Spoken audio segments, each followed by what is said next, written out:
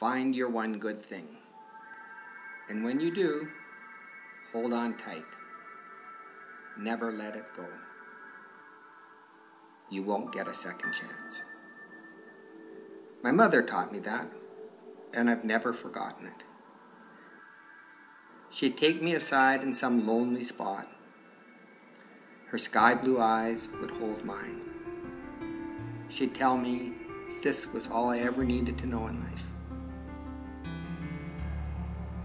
Find your one good thing. But she never told me what her one good thing was.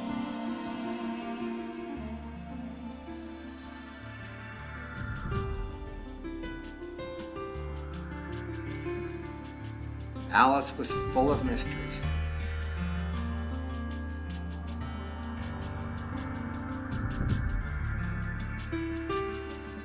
She was Montreal's golden girl. The beautiful, rich debutante that caught every man's eye. She went to McGill not to find a husband, but to become a writer.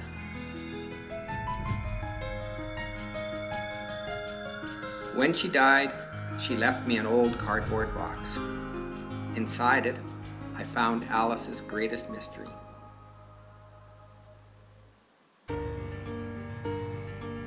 A secret love. Jens Muller. Tall and blond and cool headed. A real Norseman. An Odin. Jens told Alice that he had no money, that he had no education. All he had to offer Alice was his love.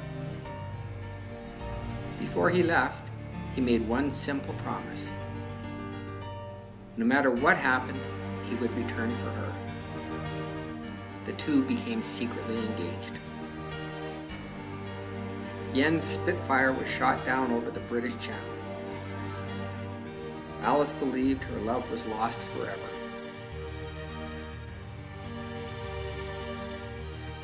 Months later, letters arrived from a German prisoner of war camp. Jens's message never changed. I love you. I will come for you. In March 1944, Stalag Luft 3 was the scene of the most spectacular prison break of the Second World War. Jens Muller was a man of his word. He helped engineer what would become known as the Great Escape. Only three men made it. Jens headed straight for Montreal. For Alice.